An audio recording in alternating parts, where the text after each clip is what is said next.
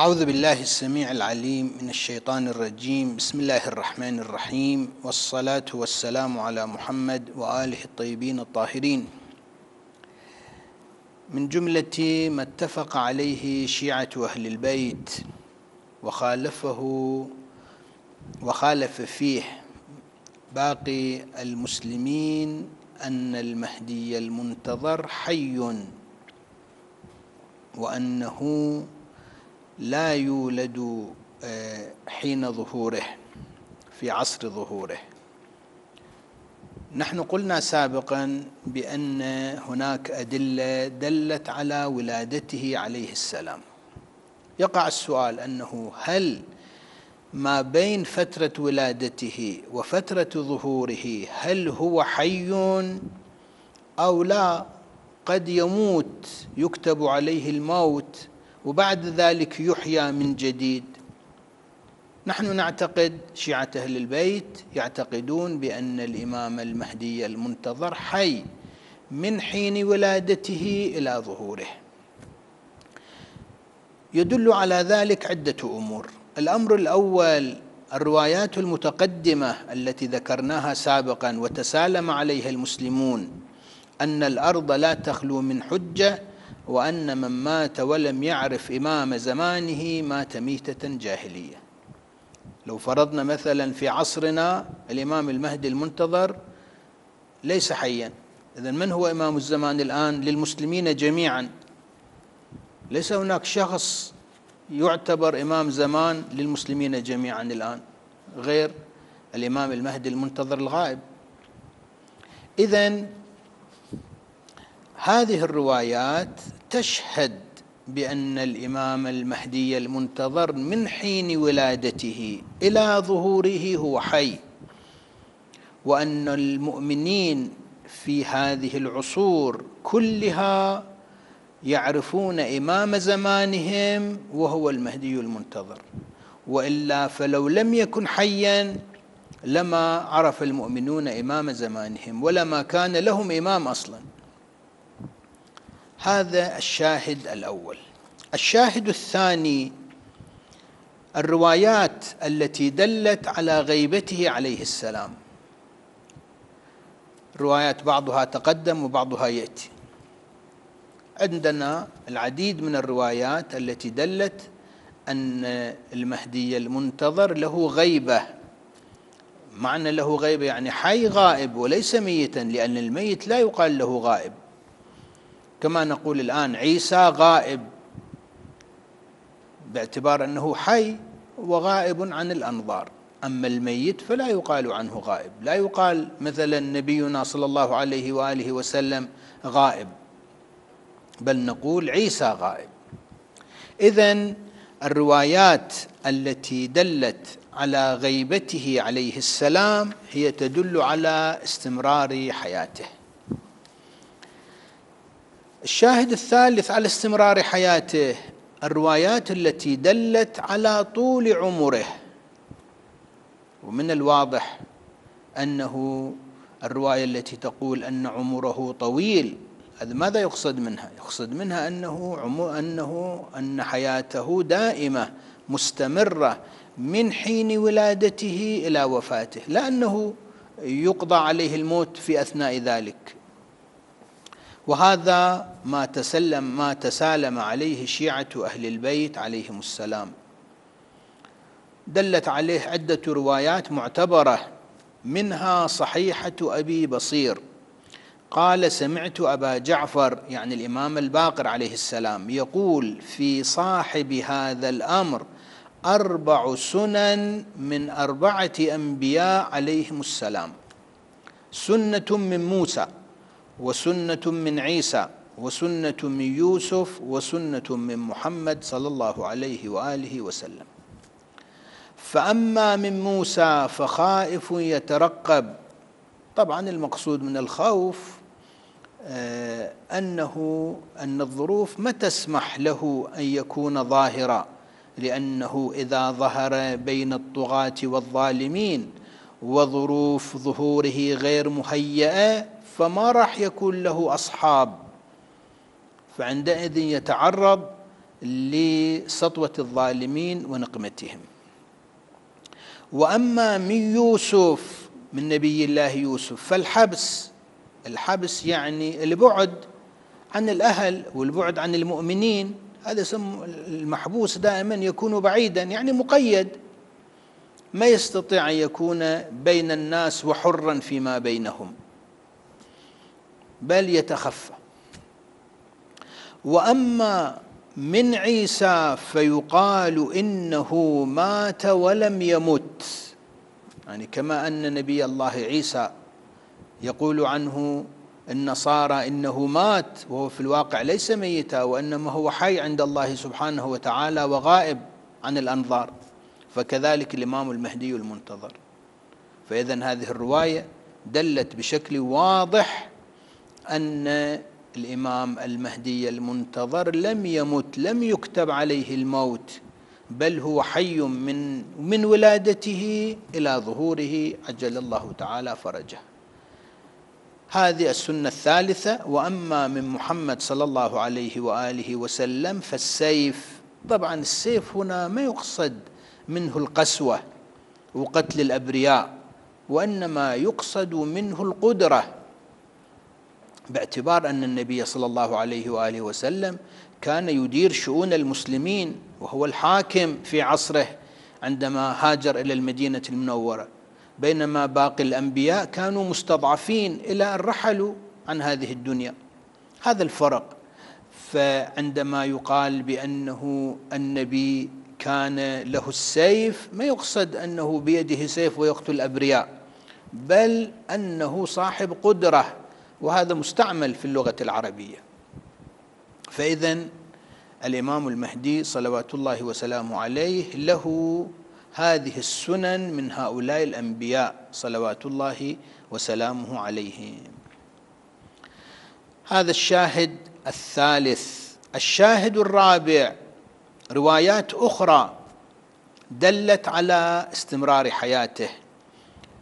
منها معتبرة أبي الجارود زياد بن المنذر عن أبي جعفر محمد بن علي الباقر عليه السلام. هذه رواية معتبرة. قال قال لي يا أبا الجارود إذا دارت الفلك وقال الناس مات القائم أو هلك بأي واد سلك؟ وقال الطالب أنى يكون ذلك وقد بليت عظامه فعند ذلك فرجوه يعني الناس ماذا يتوقعون؟ يتوقعون بأنه الإمام المهدي محمد بن الحسن غير موجود. لأنه الكثير من المسلمين الآن ما يصدقون بأنه الإمام الذي ولد في عام 255 هجرية ما زال باقيا فينكرون حياته. يقول الإمام عليه السلام فعند ذلك فارجوه فإذا سمعتم به فأتوه ولو حبوا على الثلج. فإذا ظهر لا تقولون بأنه محمد بن الحسن ولد في عام 255 ومات. وإنما آه، اتبعوه وكونوا من أنصاره.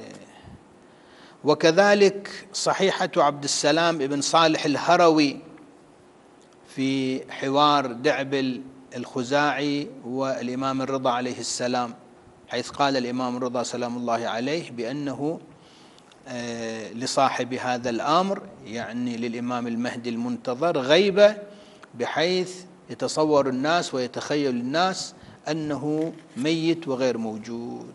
هذه مجموعة من الشواهد التي دلت على استمرار حياته. فإذا نحن ماذا نعتقد؟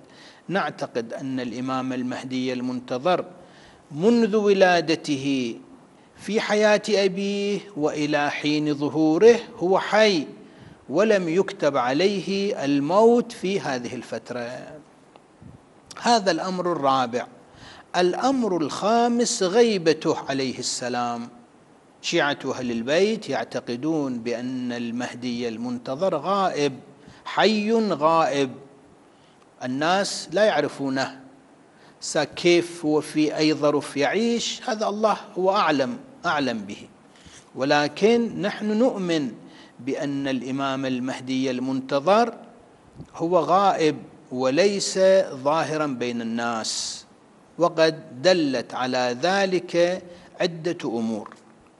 الأمر الأول الروايات الواردة في الغيبة الصغرى. عندنا عدة روايات واردة أن شيعة أهل البيت في فترة الغيبة الصغرى لما كان السفراء الأربعة موجودين ما كانوا يرون الإمام المهدي المنتظر كان غائبا عنهم. فقط السفراء الذين يرونه ويرتبطون به ويوصلون الأسئلة إليه ويوصلون أجوبته إلى المؤمنين. وقد دلت على ذلك عدة روايات. من هذه الروايات معتبرة عبد الله بن جعفر الحميري عن محمد بن عثمان العمري رضي الله تعالى عنه. قال سمعته يقول والله إن صاحب هذا الأمر محمد بن عثمان العمري هو السفير الثاني. عبد الله بن جعفر الحميري يقول سمعت محمد بن عثمان العمري يقول والله إن صاحب هذا الأمر ليحضر الموسم كل سنة. يعني موسم الحج. فيرى الناس ويعرفهم ويرونه ولا يعرفونه. فما يستطيعون أن يعرفوا أن هذا المهدي المنتظر. الرواية الثانية معتبرته أيضا. قال سمعت محمد بن عثمان رضي الله عنه يقول رأيته صلوات الله عليه متعلقا بأستار الكعبة في المستجار وهو يقول اللهم انتقم لي من أعدائي. هذا من الذي رآه؟ السفير الثاني رآه. أما عموم الشيعة وعموم الناس فلا يرونه أو إذا رأوه لا يميزونه لا يعرفونه. الرواية المعتبرة الثالثة للحميري أيضا. قال قلت لمحمد بن عثمان العمري رضي الله عنه إني أسألك سؤال إبراهيم ربه جل جلاله حين قال له رب أرني كيف تحيي الموتى؟ قال أولم تؤمن؟ قال بلى ولكن ليطمئن قلبي فأخبرني عن صاحب هذا الأمر هل رأيته؟ قال نعم. الحميري يسأل السفير الثاني يقول أنا راح أسألك سؤالا هذا ما يعبر عن شك وإنما من باب زيادة اطمئنان مثل ما نبي الله إبراهيم الذي هو مؤمن بقدرة الله سبحانه وتعالى وبالحياة بعد الموت بالبعث بعد الموت. مع ذلك ماذا قال ماذا قال لله سبحانه وتعالى؟ يا رب أرني كيف تحيي الموتى. قال أولم تؤمن؟ قال بلى. آه، بل قال رب أرني كيف تحيي الموتى. قال أولم تؤمن؟ قال بلى ولكن ليطمئن قلبي. يقول أنا أيضا أسألك هذا السؤال ليس من باب الشك.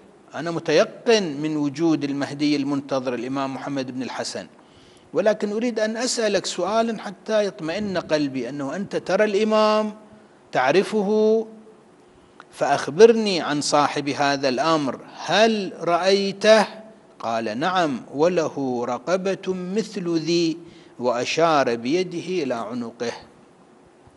يعني كأنه يقول وإن رأيته مثل ما أرى آه، الناس الآخرين فهو آه، مثل باقي الناس غاية ما هنالك أن الناس لا يعرفونه. أو لا يرونه. هذه مجموعة من الروايات الواردة في عصر الغيبة. وهناك روايات أخرى نصت على غيبته عليه السلام مطلقا. من هذه الروايات صحيحة زرارة قال قال أبو عبد الله عليه السلام الإمام الصادق يأتي على الناس زمان يغيب عنهم إمامهم. إذا موضوع غيبة الإمام المهدي مذكورة في روايات الأئمة السابقين أيضا. فقلت له ما يصنع الناس في ذلك الزمان؟ يعني إذا كان الإمام غائبا عنهم فهم كيف يصنعون؟ كيف يعرفون أحكامهم الشرعية؟ كيف يعرفون تعاليم دينهم؟ إلى من يرجعون؟ قال يتمسكون بالأمر الذي هم عليه حتى يتبين لهم.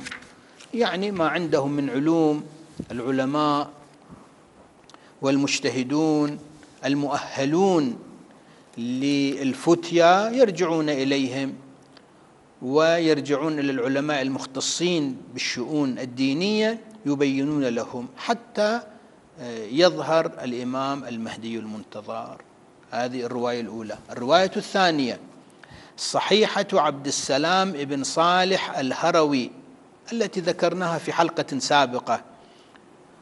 وفي هذا المقطع قال سمعت دعبل بن علي الخزاعي الشاعر المعروف يقول أنشدت مولاي علي بن موسى الرضا عليه السلام قصيدتي. مدارس آيات خلت من تلاوه ومنزل وحي مقفر العرصات. إلى أن الإمام عليه السلام ماذا قال له؟ فقال يا دعبل الإمام بعدي محمد ابني. وبعد محمد ابنه علي وبعد علي ابنه الحسن الحسن العسكري وبعد الحسن ابنه الحجة القائم المنتظر في غيبته المطاع في ظهوره إذن الإمام رضا عليه السلام أخبر بماذا؟ أخبر بأن الإمام المهدي المنتظر سوف يغيب وبعد ذلك يظهر فيكون مطاعا حين ظهوره لو لم يبق من الدنيا إلا يوم لطول الله عز وجل ذلك اليوم حتى يخرج فيملأ الأرض عدلا كما ملئت جورا. هذه الرواية الثانية. الرواية الثالثة معتبرة صفوان بن مهران الجمال. قال قال الصادق جعفر بن محمد أما والله ليغيبن عنكم مهديكم حتى يقول الجاهل منكم خطاب للمؤمنين حتى يقول الجاهل منكم يعني الجاهل من المؤمنين الذين إيمانه ليس راسخا متزلزل ما لله في آل محمد حاجة؟ صار عندهم يأس. قل ما معقولة؟ في إمام وغائب والآن هذا الظلم منتشر. ثم يقبل كالشهاب الثاقب فيملأها عدلا وقسطا كما ملئت جورا وظلما. الرواية الرابعة صحيحة أبي هاشم داود بن القاسم الجعفري. قال سمعت أبا الحسن صاحب العسكري يعني الإمام الهادي عليه السلام يقول الخلف من بعدي ابني الحسن فكيف لكم بالخلف من بعد الخلف؟ يعني الحفيد الخلف من بعد الخلف راح تكون فيه خصوصية. فقلت ولم جعلني الله فداك؟ فقال لأنكم لا ترون شخصه ولا يحل لكم ذكره باسمه. قلت فكيف نذكره؟ قال قولوا الحجة من آل محمد. اذا الإمام الهادي عليه السلام أخبر عن غيبة الإمام المهدي المنتظر. وأما موضوع أنه لا يحل لكم ذكر ذكره باسمه فقد قلنا في حلقة سابقة أن هذا يختص بذلك العصر حيث كانت أسرة الإمام عليه السلام مراقبة والسلطة تبحث عمن يرجع إليه الشيعة بعد الحسن العسكري عليه السلام. الرواية الخامسة صحيحة محمد بن مسلم قال سمعت أبا عبد الله عليه السلام يقول إن بلغكم عن صاحبكم غيبة فلا تنكروها. إذا الإمام يهيئ الشيعة بأن المهدي المنتظر سوف تكون له غيبة. وروى الشيخ الطوسي رحمه الله مثل هذه الرواية مثل هذا المضمون عن أبي بصير رحمه الله. إذا هناك مجموعة مجموعة روايات طبعا نحن ما استوعبنا كل هذه الروايات إنما ذكرنا نماذج منها. دلت على أن الإمام المهدي المنتظر عجل الله تعالى فرجه يغيب عن الأنظار وأن المؤمنين لا يعرفونه حتى يقسم الله سبحانه وتعالى له الظهور عندئذ يتضح أمره ويتبعه المؤمنون في ذلك العصر. نسأل الله سبحانه وتعالى أن يوفقنا لإدراك عصره وأن يجعلنا من أنصاره وأعوانه. بالمناسبة لبعض العلماء مثل الشيخ الصدوق وللشيخ المفيد كلمات رائعة هنا فيما يرتبط بهذا الموضوع إن شاء الله سوف نذكره في الحلقة اللاحقة. فنوكل الأمر إلى ذلك. والحمد لله رب العالمين